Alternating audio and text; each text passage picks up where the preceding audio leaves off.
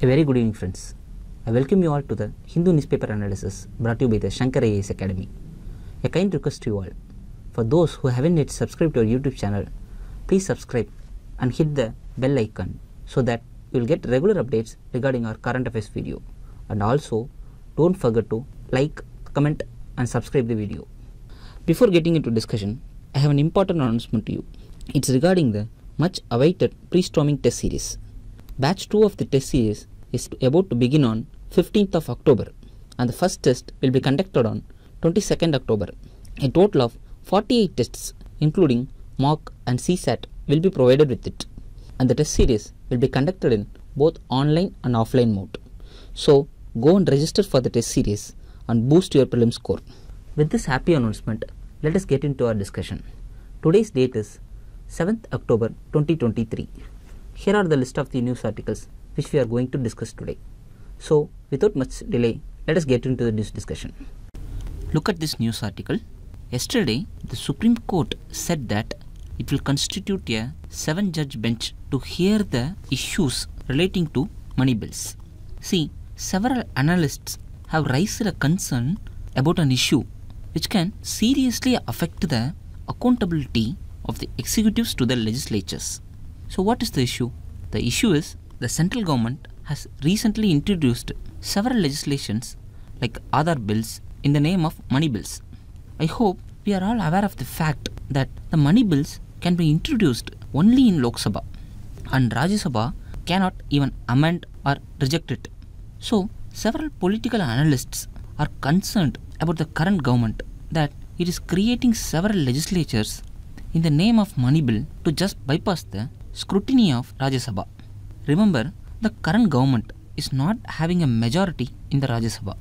So, because of this concern, several eminent peoples have filed petitions before the Supreme Court. Thereby, the Supreme Court announced that it will constitute a seven judge bench to hear the petitions relating to money bills. This is all about the news. So, this issue of circumventing the accountability of legislatures is often asked in the mains examinations and prelims examinations. So, in this discussion, let us understand some points about money bill. First of all, know that the Article 110 of the Indian Constitution deals with the money bills. So, the clause 1 of the Article 110 lists out several matters like taxation, regulation of the government borrowing, custody of consolidated fund of India and so on. So, if any of the bill deals with the matters which were listed now, then such bill is termed as the money bill. So, now I am putting it in a technical way that money bill is a bill that deals with the taxation, government's borrowing and other matters as mentioned in Article 110 Clause 1. Now, we will look at the futures of the money bill from exam perspective. See, first point is money bill can be introduced only in Lok Sabha. Second point is money bill can be introduced only by a minister of the central government and not by any other members of the parliament as in the case of other bills. Third point is money bill can be introduced only after the prior recommendation of the president. Now, continuing our discussion, we know that in case of money bill, Rajya Sabha has limited powers. Once Lok Sabha passes the bill, it will be sent to Rajya Sabha for recommendations. See the word only recommendations. It means Rajya Sabha cannot reject or amend the money bill.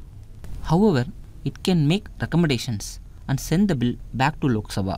But there is also a catch. Here, the bill should be sent within 14 days from the date of receiving of the bill from Lok Sabha.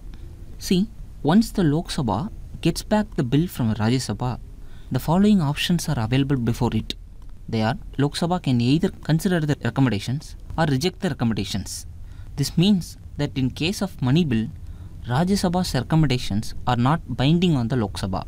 So, if Lok Sabha accepts or rejects the recommendation, the bill is deemed to be passed by the parliament and it will be sent to obtain president's assent. We should be also aware of the fact that if Rajya Sabha does not act on the money bill within 14 days, then also the bill is deemed to be passed by the parliament. So, from these basic facts, we can observe a thing that the role of Rajya Sabha is very limited with respect to money bills. Now coming to President's assent. See, once the President receives the money bill after being passed by Parliament, he can either accept the bill or withhold his assent. But the President cannot return the bill for the reconsideration of the Parliament. What does it means? It means no suspensive veto is available with respect to money bills. But generally the President gives his assent to the money bill as it was introduced with his prior approval. Finally, let us note one important fact. See, if any question arises whether a bill is money bill or a normal bill, the decision of the Lok Sabha Speaker shall deem to be final. This means it is up to the Speaker to decide whether a particular bill is money bill or not. But Supreme Court in Aadhaar case ruled that the decision of the Speaker to classify a bill as money bill or not is under the purview of judicial review. It means the Supreme Court has opened the gates of scrutiny for the Speaker's decision. This is all about the discussion regarding money bill.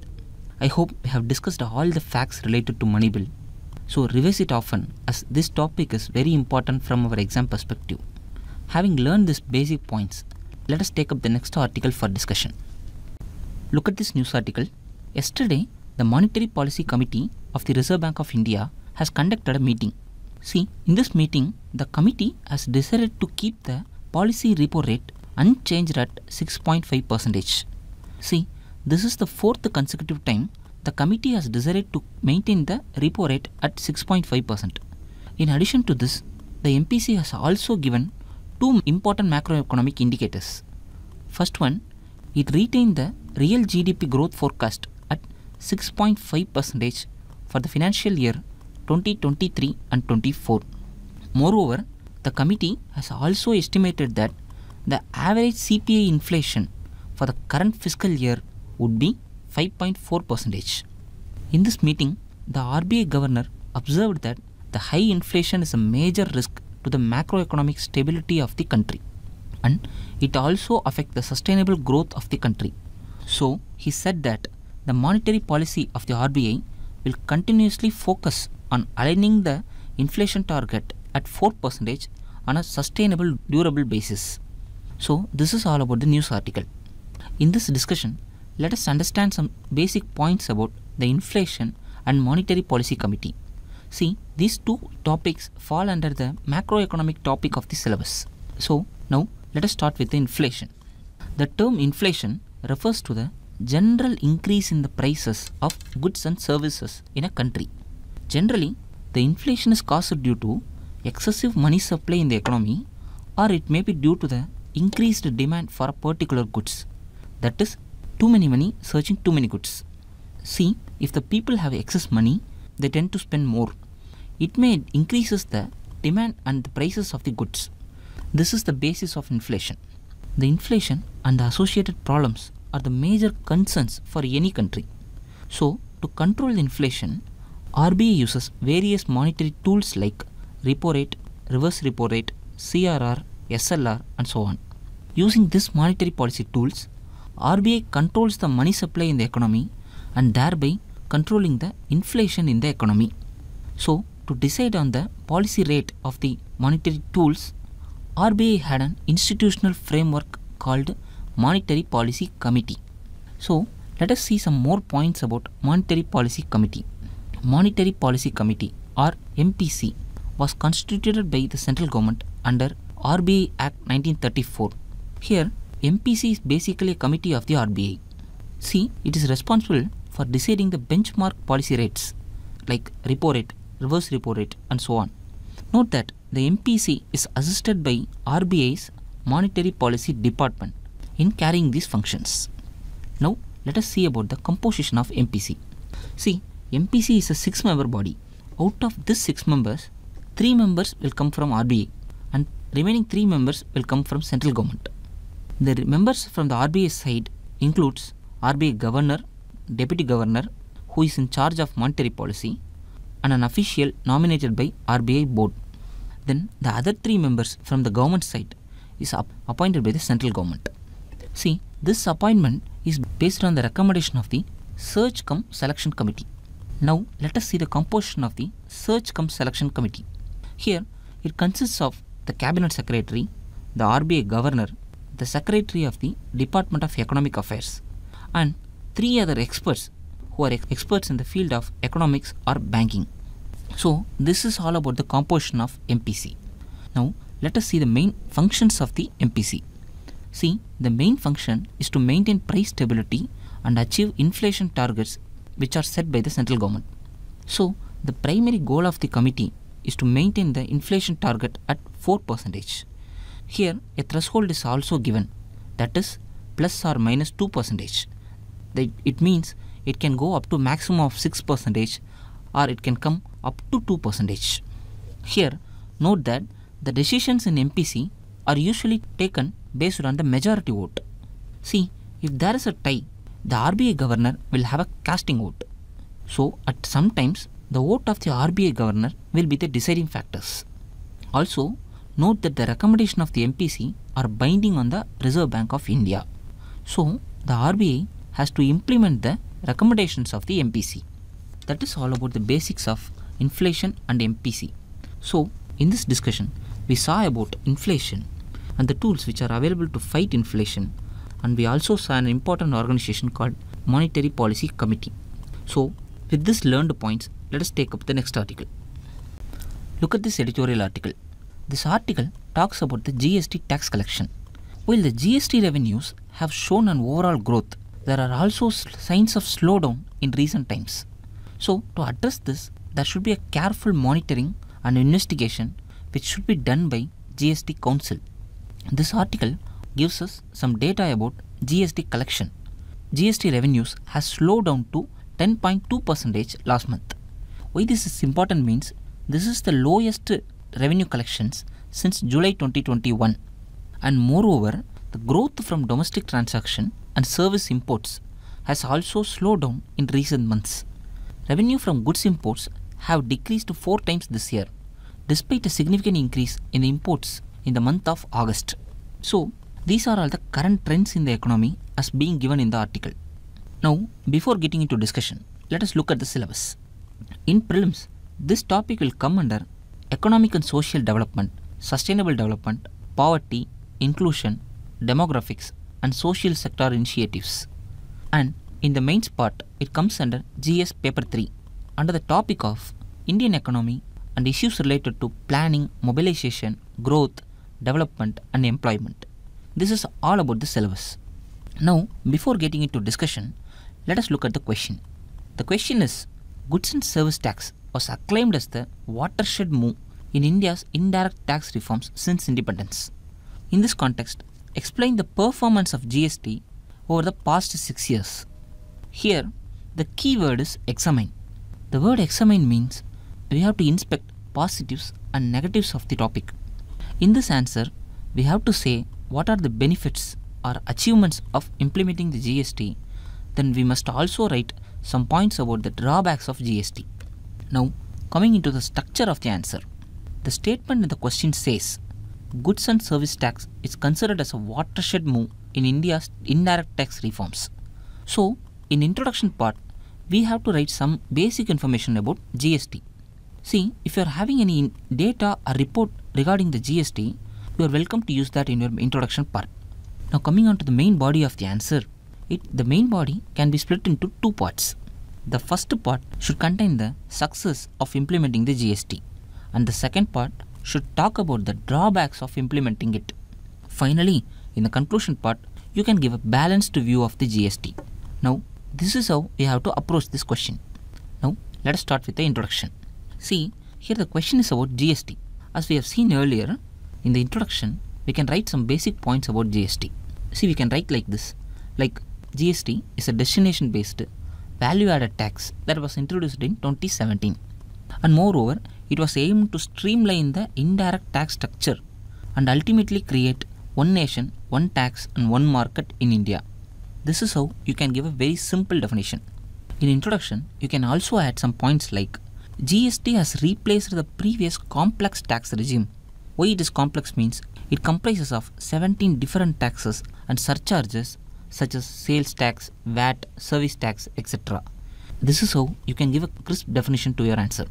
Now coming to the body part of the answer, see in first part you should write some positive aspects of the GST. So put a simple subhead like positive aspects of GST. Under this, we shall explain the achievements of GST one by one. Since this is a 10 marker, 4 or 5 solid points is enough to answer. Firstly, GST simplified the tax structure. GST has replaced many indirect tax and united them under common roof. For example, taxes like VAT, sales tax, luxury tax, entertainment, entry tax and assessment tax have been all brought under GST. So this has ultimately reduced the compliance burden for the businesses and it facilitated the interstate trade. Secondly, GST has increased the revenue collection of the state. Looking to this, the GST boosted revenue collection through a broader tax base and, and a better compliance system. For example, if you take the data, the total gross revenue collection in the first half of the financial year 24, that is this financial year, it stands at 9.92 lakh crores. This is a 11% growth compared to the previous year. And moreover, if you look at the average monthly gross collection for the first half of the financial year, it stands at 1.65 lakh crores. This is also 11% higher than the average monthly gross collection for 2022-23. Thirdly, GST has increased tax returns. This means that more businesses and individuals are filing their GST returns with the tax authorities. As GST aims to bring more businesses under the tax net, it ultimately widened the tax base and it naturally led to increased tax returns. And moreover, stricter implementation of the GST regulations, including the increased penalty for non-compliance, can encourage more businesses to file their returns to avoid any legal consequences. Fourthly, GST has helped the formalization of economy. As we saw, the tax base has expanded rapidly after the implementation of the GST. 6.6 lakh new agents previously who were outside the tax net have been brought under GST regime. Also, the implementation of the e-way bill system has helped to simplify the transportation of the products across the various states of India. Fifthly, GST has reduced the regional disparities in tax collection. GST introduced uniform tax rate across various states and UTs, promoting price transparency and reduced regional disparities. Sixthly, the establishment of the GST Council represents the spirit of cooperative federalism. Here, both central and state governments can come together and take action on key policy decisions. For example, the rationalization of the tax rate on several items have over the years been updated taking suggestions from various states. Lastly, digital transformation. The GST regime encouraged digital transactions and improved tax administration through GSTN that is Goods and Service Tax Network. This technological upgrade reduced the tax evasion and simplified the tax filing processes. So, these are the major advantages of the GST regime. Now, coming to second part of our answer, here we shall explain what are the challenges in the GST regime. The first is complexity. Despite the GST aims to simplify the tax structure, GST remains complex. This is due to multiple tax slabs in the GST system. For example, various products have various taxes like 5%, 12%, 18% and 28%. Frequent change in the tax rates and the procedures have created an alternative set of complexity in the GST structure. Second important challenge is it's a big challenge for small businesses. Small and medium-sized enterprises faced initial difficulties in adapting to the new system. The compliance requirements and the need for digital infrastructure posed a serious threat for them. Third important challenge is anti-profiteering issue. There were concerns that businesses are not passing the benefits of reduced tax on to the customers. So, the government has formed a National Anti-Profiteering Authority to address these issues. Fourth challenge is inverted duty structure. Here, inverted duty structure simply means the tax rate on inputs like raw materials, components are higher than the tax which are imposed on finished products. So, certain industries such as textiles and manufacturing face an IDT which affects the competitiveness of these industries. Fifth important issue is the fuels are not yet brought under the GST. Petrol and diesel were kept out of the GST ambit, leading to the complex tax rate for these essential commodities. This exclusion has resulted in differential fuel prices across states and there are various challenges in managing these fuel tax policies. Last important challenge is revenue shortfall. While the GST was expected to significantly boost the revenue of the government, there have been periods of revenue shortfall which are seriously impacting the governmental finances. This news article that we have seen also supporting this argument. So, these are the important challenges associated with GST. Now, we have explained the benefits and challenges of GST in our body part of the answer. So, having completed the body part, let us see the conclusion of the answer. See, I have already told you that we have to give a balanced conclusion to our answer. So, the conclusion can be like this. The GST has undoubtedly brought a significant change in India's indirect tax system. But it also faced challenges related to issues like complexity, compliance, and the impact on small businesses.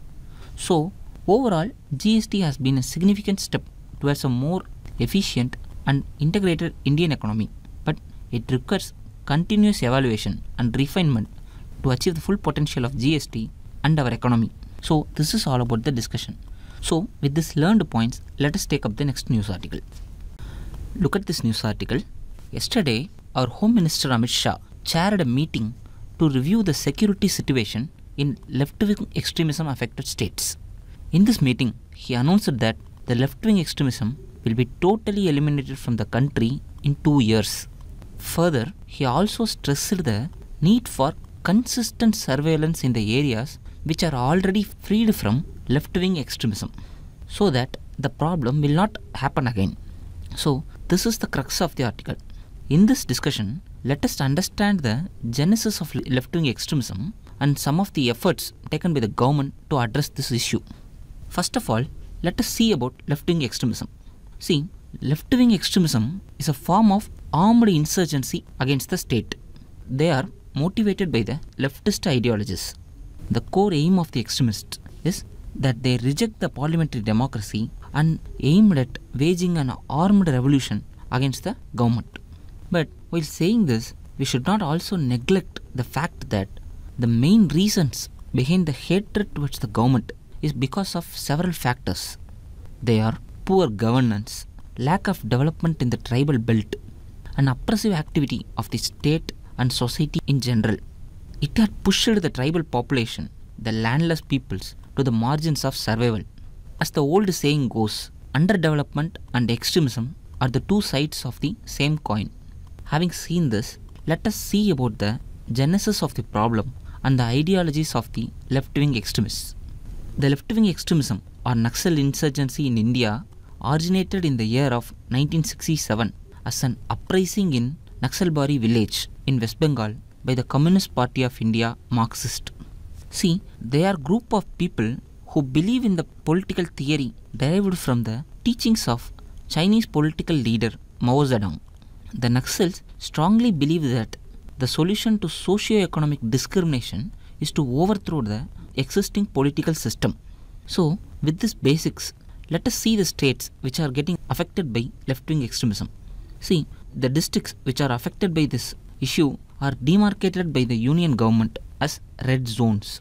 Nearly 90 districts in 11 states are considered to be affected by this left-wing extremism. Since these regions are in the central, eastern and southern part of India, they are almost called as red corridors. But with the continuous action of the state, coupled with the developmental activities, reduced the left-wing extremism problem in India.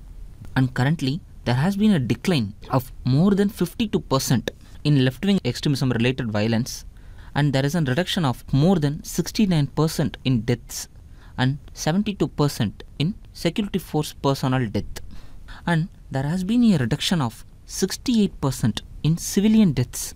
And all these data are between the years of 2014 to 23 now moving on our discussion let us talk about the steps taken by government to tackle this issue. Firstly home ministry came up with a strategy of samadhan to tackle this issue. It is a strategy to frame short-term and long-term policies. You can see here, displayed here is the expansion of Samadhan.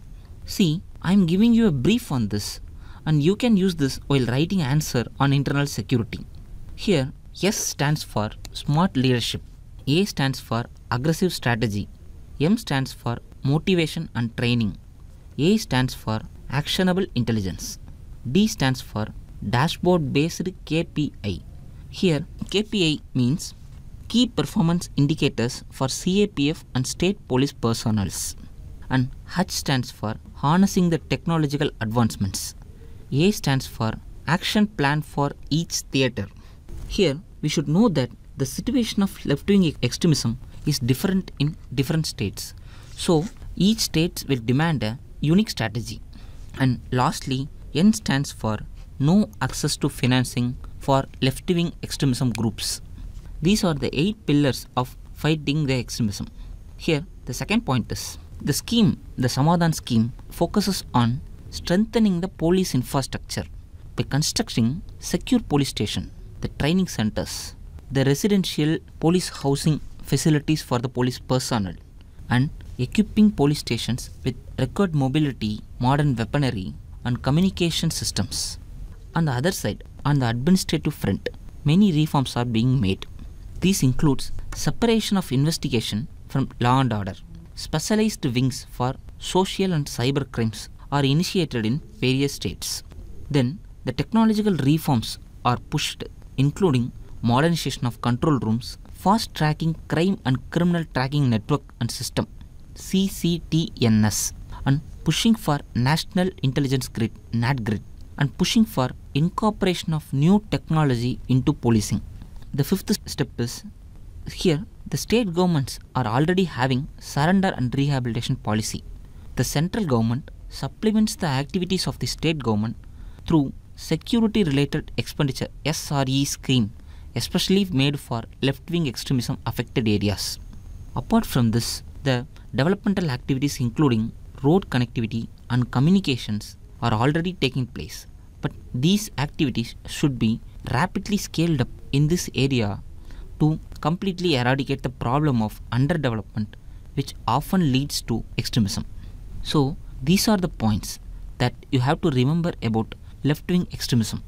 See, this is an important topic under internal security in General Studies paper 3.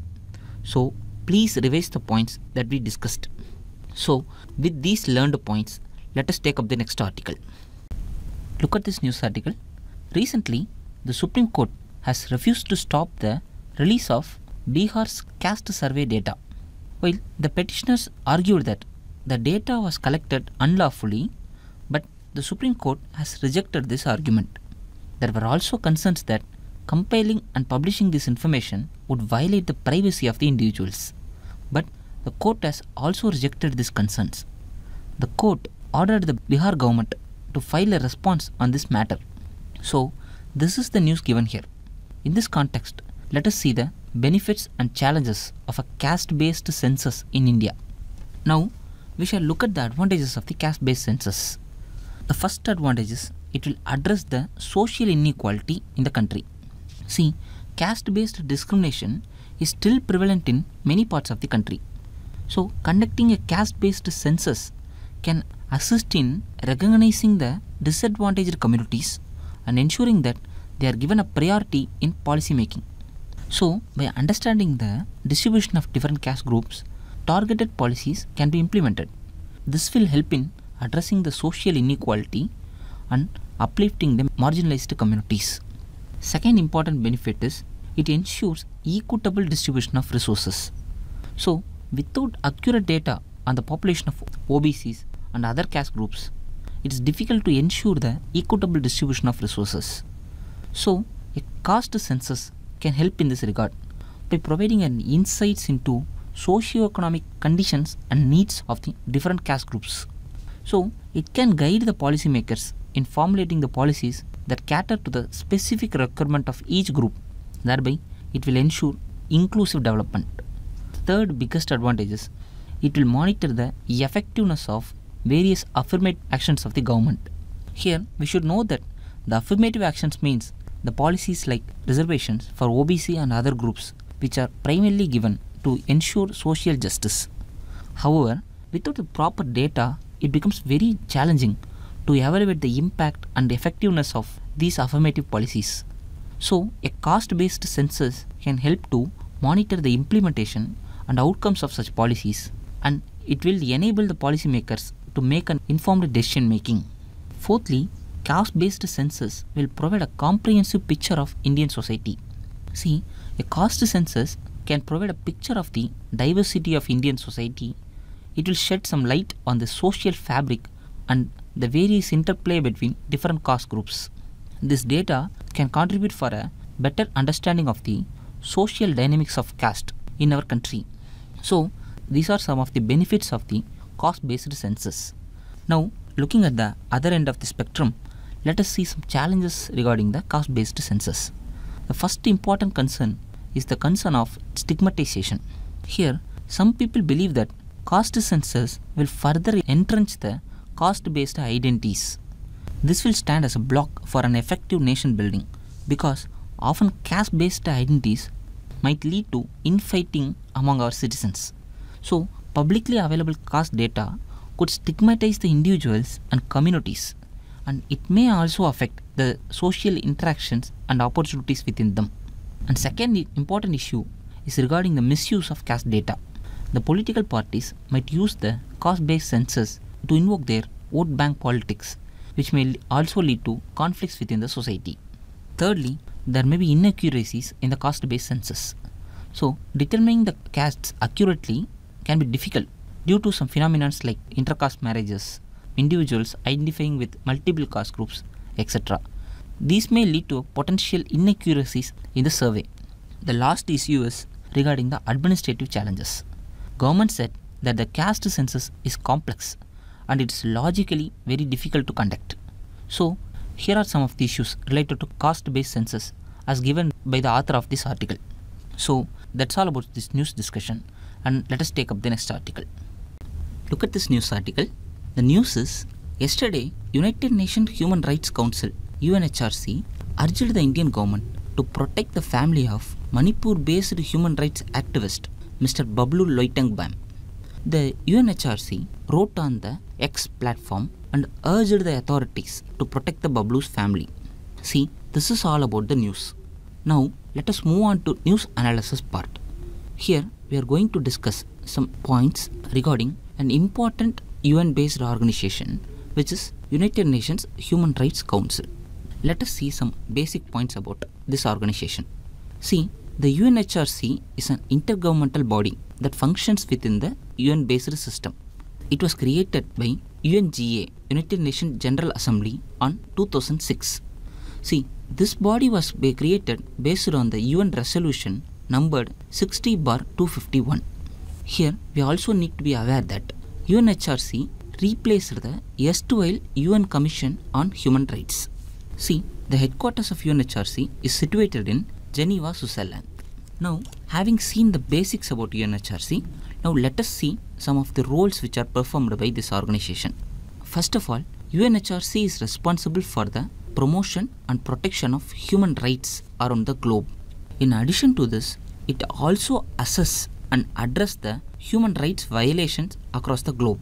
The third most important function of the organization is to make recommendations to stop human rights violations because these recommendations are very vital for stopping the HR violations around the world.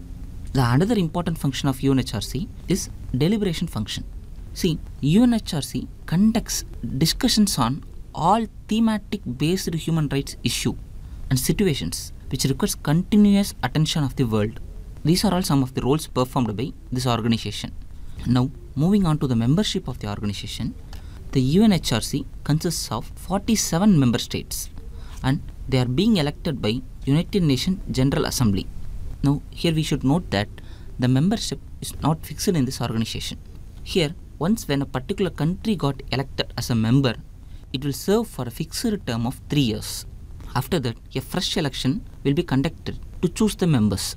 So, to put it simply, that it is just like our Lok Sabha elections, where fresh elections will be held after the expiry of its term. Now, coming back to our discussion, note that a country is allowed to stand in the election for the second consecutive term in UNHRC. However, there is a catch. Here, the countries are not eligible for an immediate re election after serving two consecutive terms. Here there is a catch. However, the countries are allowed for re-election. These countries are not eligible for immediate re-election after serving two consecutive terms. Here we should be aware of the fact that the 47 seats are not open to any one particular area. The membership is distributed among different geographical regions to ensure a balanced and equitable representation. So, this allows UNHRC to obtain diverse view while discussing the human rights matter. Now, looking to the current scenario. Currently, there are 13 seats for African states. There are 13 seats for Asia Pacific states, 8 seats for Latin America and Caribbean states. There are 7 seats for Western European and other states and 6 seats for Eastern European states. Here, we need to be aware of the fact that India is currently one of the members of UNHRC. So, this is all about the membership of the organization. That is all about the news analysis of UNHRC. Now, let us quickly revise what we studied about this organization. In this analysis, we first saw the basics of UNHRC. Next, we discussed about the roles of the UNHRC. Finally, we saw about the membership of the organization and the geographical distribution of the membership. That's all about the news discussion. With this, let us move on to the next part of our analysis that is preliminary practice question discussion. Today, we are having four questions. Let us solve them one by one. See the first question. Consider the following statements regarding the money bill. The statement 1 says that it can be introduced by any member of the Lok Sabha. Statement 2. Prior permission of the President is required to introduce the bill. Statement 3. The recommendations of the Rajya Sabha are binding on the Lok Sabha. Here, we know from our analysis discussion that the first statement is wrong because the money bill can be introduced only by the ministers. Seeing the second statement, it is correct because prior recommendation of the president is mandatory for introducing the money bill. Seeing the third statement, the recommendations of the Rajya Sabha are not binding on the Lok Sabha. So, by eliminating the option 1 and 3, we know that only the second statement is correct. So, the correct option is option A, only 1. See the second question. Consider the following statements regarding the Monetary Policy Committee. First statement says that it decides the RBI's benchmark interest rates. See the first statement is correct. The second statement is it is a 12 member body including the governor of RBI and it's reconstituted every year. Here the second statement is incorrect because from our discussion we know that the MPC is a 6 member body and the members of the Monetary Policy Committee will be appointed for a period of 4 years and moreover the members are not eligible for the reappointment. So the second statement is wrong. Third statement is it functions under the chairmanship of Union Finance Minister. See, this statement is wrong because RBI Governor is the chairman of MPC. So here the first statement alone is correct and the statement 2 and 3 both are incorrect. So the correct option is option A. See the third question. This is a previous year preliminary question appeared in the year of 2009. Here consider the following statements. The first statement is between the census 1951 and 2001, the density of the population of India has increased more than three times. See, the density in the year of 1951 is 117 persons per square kilometer, and in 2001 it stands at 324 per square kilometer. So, on seeing this, the density has only tripled and it has not increased more than three times. So, the statement 1 is wrong. And the second statement is between census 1951 and 2001, the annual growth rate of the population of India has doubled. We can see that the annual growth rate of population density in 1951 stands at 1.25 percentage and in 2001 it stands at 1.93 percentage. So it has not doubled. So this statement is also wrong. So the both the statements are wrong and the correct option is option D. See the last question of the day. Consider the following statements. Right to education, right to equal access to public service, right to food. How many of the above are the human rights under Universal Declaration of Human Rights? See, from the commonsensical approach, we can easily say that all the three would have been mandatory under human rights. So the correct option is option C. And moreover, the main question based on today's discussion is listed here. So interested aspirants can write the answer and post it in the comment section. If you like today's video, like, comment and share it with your friends. For more updates regarding UPSC preparation, subscribe to Shankar IAS Academy. Thank you for listening.